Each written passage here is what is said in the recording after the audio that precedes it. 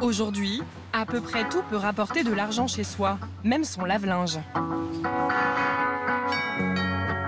Depuis quelques mois, Maria Amaro se rend régulièrement chez Guillaume Bertrand. Bonjour Maria. Vous allez bien? Oui, bien. Bah, je vous ai mis quelques chemises, euh, je vous ai mis un short. Euh, pour récupérer son linge sale. Merci beaucoup, bonne Merci, journée. je vous appelle après. Merci, beaucoup, au revoir.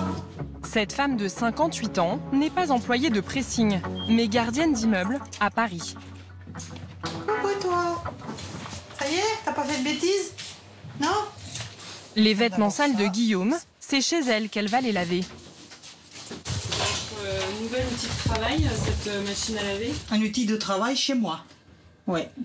C'est je prête ma machine aux gens pour laver leur linge. Pour gagner de Voilà. l'argent. Un petit peu, oui. Pour arrondir un petit peu les fins de mois, on va dire. Voilà. Avec son travail de gardienne d'immeuble, Maria gagne 900 euros net par mois, en plus de son logement de fonction. Il y a un an, elle a découvert un moyen étonnant mais très facile de gagner plus grâce à un site internet. Il s'appelle CoWash et propose à des particuliers de laver le linge de leurs voisins contre rémunération. La plateforme existe depuis trois ans.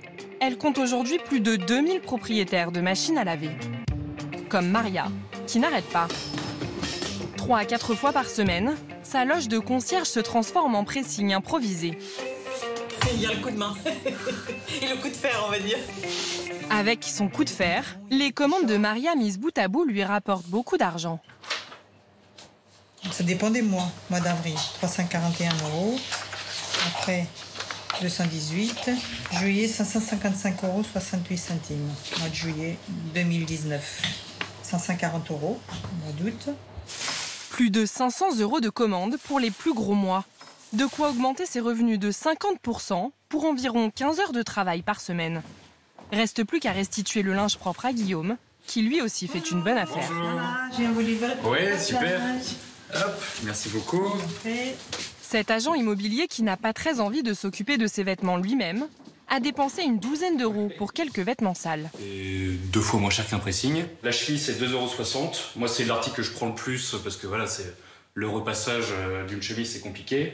Euh, un pressing dans le 16e, euh, c'est 5-6 euros la chemise. Il faut se lever de bonne heure pour trouver 2,60€ dans un pressing, c'est sûr. Comme Maria, de plus en plus de Français louent leur électroménager ou même une partie de leur maison pour tirer un revenu de leur logement. L'immobilier est la première dépense des Français.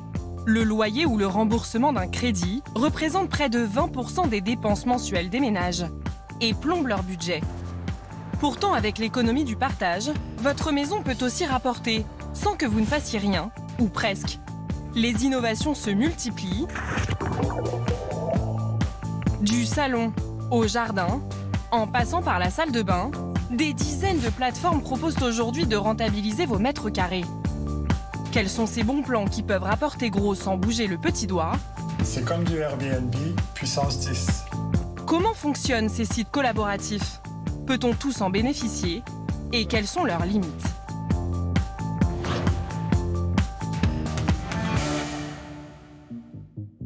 En France, il y a une installation qui coûte beaucoup d'argent aux propriétaires de maisons.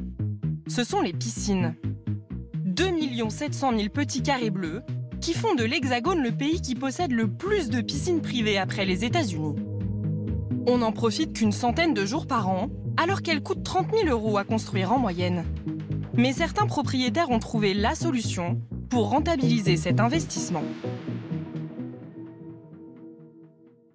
Dis-moi, Stécie, c'est tout bon là T'as tout préparé? Ouais, j'ai pris la gourde, l'enceinte. Donc les serviettes, ça c'est bon.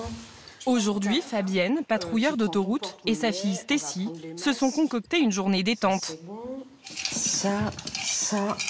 En pleine canicule, elles cherchent à quitter leur appartement un peu étouffant. Alors aujourd'hui, ce sera baignade.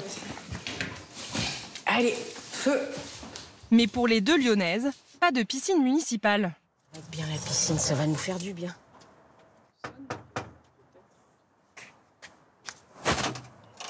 Bonjour, Bonjour, Gérald. Fabienne. Enchanté. Enchanté. bienvenue. Merci. Elle s'invite chez Gérald, un particulier propriétaire de cette grande villa avec piscine. Voilà votre zone pour l'après-midi. C'est magnifique. De quoi vous reposer, vous détendre un petit peu. Donc là, vous avez la douche, qui normalement devrait être chaude à cette heure-ci. Donc là, vous avez le petit coin ombragé, éventuellement pour faire une sieste, mais c'est peut-être pas prévu. Non, ben, je crois pas. Et les bouées qui sont à votre disposition. Donc voilà, pour se détendre. Et puis euh, voilà, et tout le reste, c'est pour vous. C'est beau. C'est très très beau. C'est gentil. Merci beaucoup. Très très joli. Gérald s'éclipse car Fabienne et Stécie ont loué sa piscine pour tout l'après-midi.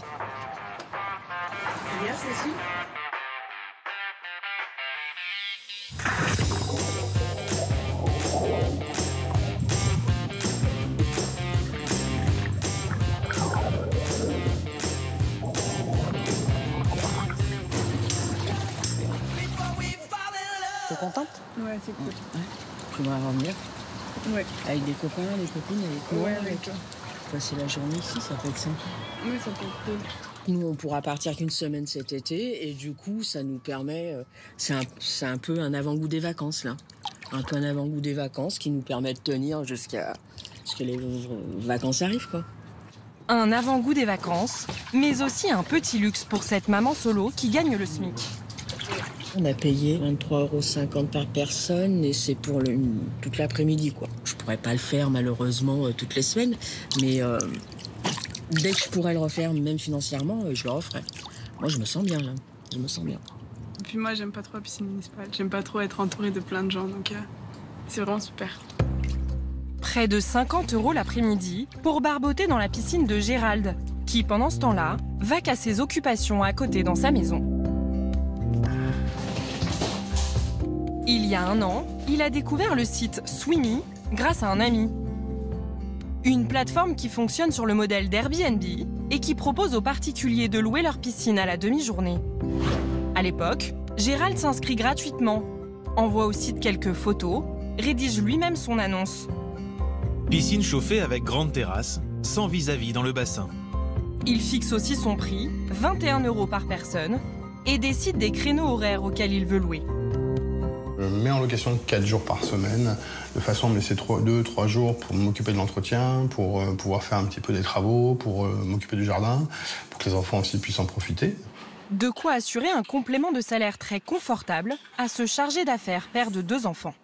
Le revenu moyen, d'après ce que j'ai calculé, si on prend depuis début mai, on est à 1000, 1200 euros par mois. Gros mois, je crois que c'est le mois de juillet, là où on est monté, on était, on était à 1008. C'est très rentable, bien sûr. C'est quelque chose de, bah, de très intéressant financièrement. Si Gérald peut arrondir ses fins de mois, et Fabienne et Stécie passèrent un après-midi au calme dans sa piscine, c'est grâce à une idée toute simple, née un peu par hasard. La fondatrice de ce site, c'est Raphaël de Monténard, 35 ans. Et là, pareil, tu mettras juste le. Oui, le reportage. Non, mais le- la, la copie d'écran euh, qu'on a laissée. Il y a 4 ans, cette ancienne directrice de communication profite d'un peu de bon temps chez des proches. En fait, j'étais autour d'une piscine avec une, euh, avec une amie. Donc voilà, c'était dans cette piscine-là. Moi, je suis là. On s'est rendu compte que derrière, euh, la, derrière le mur, il y avait une autre piscine. Et encore derrière ce jardin, il y avait encore une autre piscine. Et que ces piscines étaient vides. Et du coup, on s'est dit, mais en fait, ce serait génial euh, de créer une plateforme qui puisse répertorier et référencer toutes ces piscines et euh, de, voilà, de les proposer euh, à des personnes qui seraient contentes d'en profiter. Tout le monde autour de la piscine a un peu ricané en disant euh, n'importe quoi, ça marchera pas. Pourtant, le succès est au rendez-vous. Le premier été, le site de Raphaël comptabilise 2000 utilisateurs. Trois ans plus tard, il en est à plus de 80 000. Fix, t'as vu qu'on est à 20, encore 20 piscines là, par jour? Ouais. C'est top, hein En ce moment, le Ouais, site enregistre ouais, une vingtaine de nouveaux ça. inscrits par Ouais, jour. C'est François Xavier qui réceptionne les candidatures. Bah, c'est parfait alors. En tout cas, votre piscine est très, euh, très sympathique. Il s'assure d'abord que la piscine existe bien pour éviter les arnaques. Ouais. Donc, je prends son adresse dans, son, dans le back-office et je vais me balader dans Google Maps pour essayer de voir qu'il y a une piscine à cet endroit-là. En appelant les propriétaires, il contrôle aussi que la piscine est bien sécurisée par l'un des trois moyens autorisés clôture, alarme ou volet roulant. Une fois ces vérifications effectuées, tout le monde peut mettre sa piscine sur la plateforme. Je pense que ça faire un carton. Pour gagner de l'argent, le site prélève une commission de 21% sur le prix de la location. Elle comprend une assurance obligatoire. Et euh, rapport au litige et tout là, Et il y, a, il y en a eu, on va dire, euh, 4-5, dont un qui était un peu plus grave que l'autre, le- que le reste. En cas de dégâts causés par un locataire, après constat, le propriétaire est remboursé. Il y a des gens qui ont sauté pour faire une photo et du coup, ils se sont cassés. Ah mais oui, les cinq gars là. Ouais, Ah oui, ouais. D'accord. On a déjà reçu la confirmation de l'assurance, euh, Ok. tout était pris en charge. Cette année, le site internet a généré 1 600 000 euros de chiffre d'affaires, dont 350 000 euros de bénéfices. L'entreprise française s'est déjà exportée en Espagne et lorgne désormais sur le marché américain. Évidemment, on n'a pas tous la chance d'avoir une piscine chez soi. Mais rassurez-vous, il est aussi possible de gagner de l'argent avec une pièce que cette fois, nous possédons tous, notre salon. 8 heures du matin, c'est le grand ménage chez Aurélie.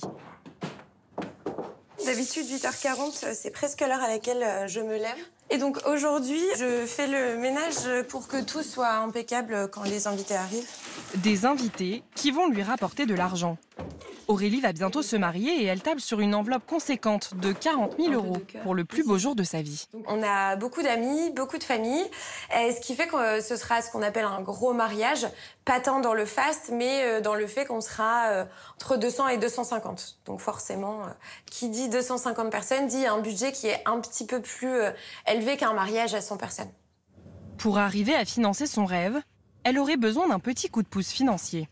J'ai pensé à mettre mon appartement sur Airbnb, mais mon conjoint était complètement contre. Et c'est vrai qu'en y repensant, euh, il y a quand même une plongée dans l'intimité. euh, les personnes dorment dans vos draps. Il y a six mois, une collègue lui parle alors d'une autre plateforme, Office Riders, qui propose de mettre son appartement en location non pas pour des particuliers en vacances, mais pour des professionnels qui l'utilisent pendant une journée.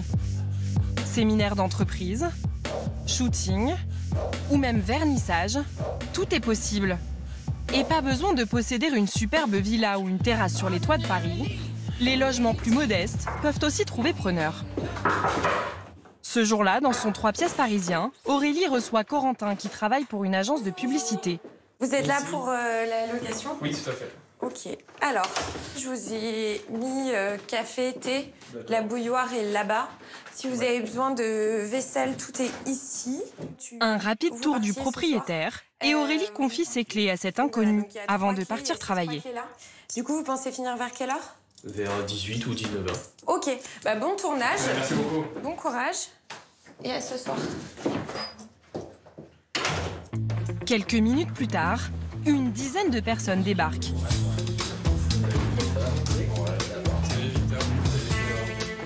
Caméraman, réalisateur, ingénieur du son et comédien, toute une équipe de professionnels. Vidéo 4, 1 sur 1, première. L'appartement se transforme en studio de tournage. Hop.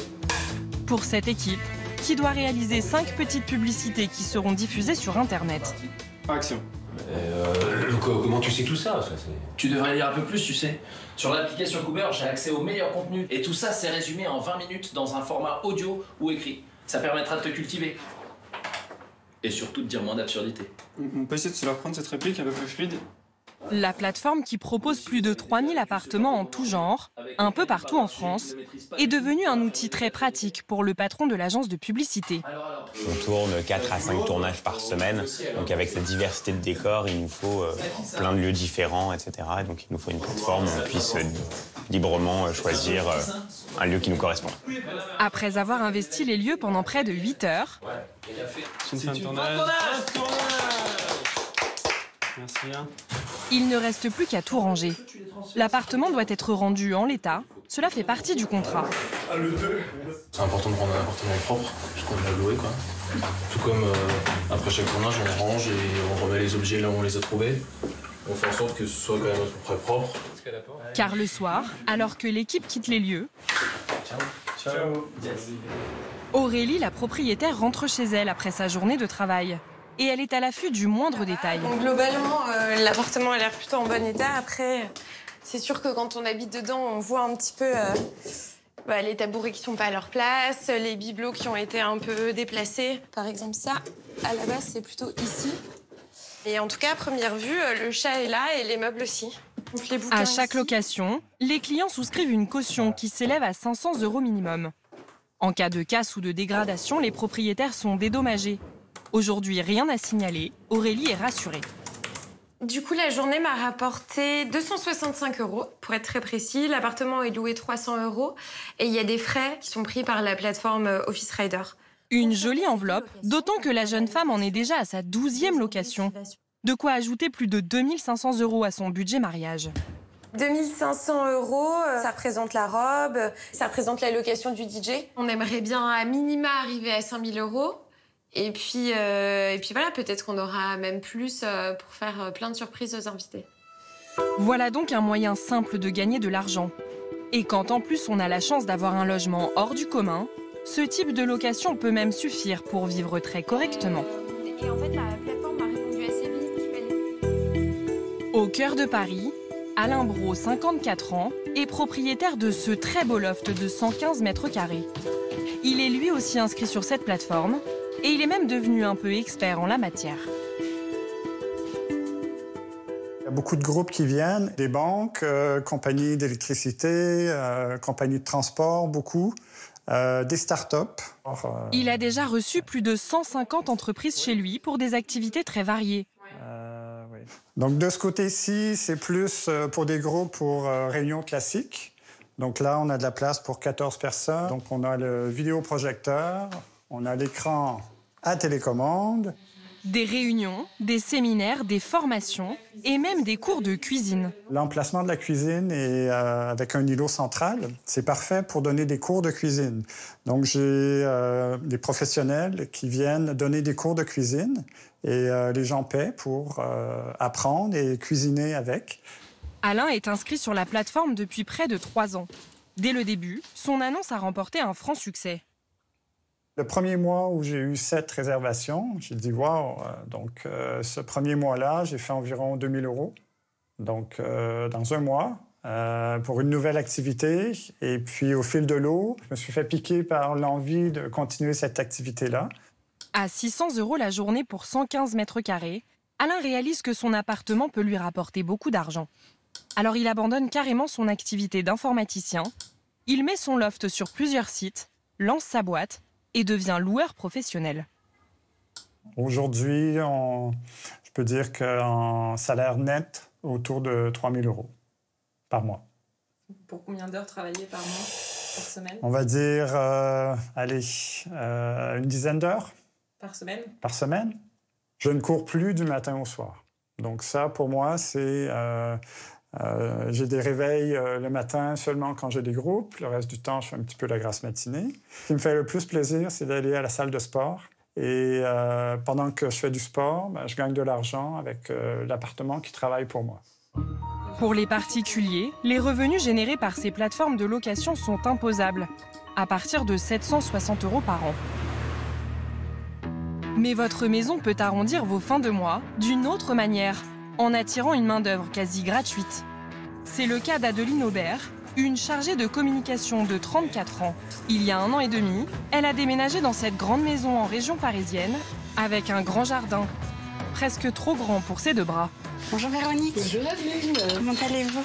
Bien, et vous? Ça va, merci, je vous en prie. Allez-y. On va vous prie. Oui, oui, oui, les valises sont ouvertes dans le salon. Alors, deux fois par mois, Adeline accueille des volontaires qui l'aident à entretenir ces deux grands potagers de 60 mètres carrés. Elle ne les rémunère pas, mais en échange, ils repartent avec des fruits et On légumes. va arracher un peu les herbes qui sont autour des fraises. D'accord. Comme ça, ça va leur faire du bien. Le petit aime bien faire ça aussi? Euh, désherbage, ça dure 5 minutes. Trop petit. Oui, il préfère venir et manger les fraises. Véronique Capu habite à quelques kilomètres. Elle est passionnée de jardinage, mais chez elle, impossible de s'adonner à ce passe-temps au quotidien. J'habite dans un appartement sans jardin, juste avec une terrasse où je mets des fleurs, euh, des, des herbes aromatiques, mais sans plus. Donc il me manquait la partie potager. C'est plus sympa à deux. C'est beaucoup toujours plus sympa à deux, bien sûr. Plus rapide et plus agréable. Les deux femmes se sont trouvées, grâce là encore, à une plateforme, jardinprivé.com. Elle met en relation des propriétaires de jardins avec des particuliers qui souhaitent s'en occuper ou tout simplement passer une journée au vert.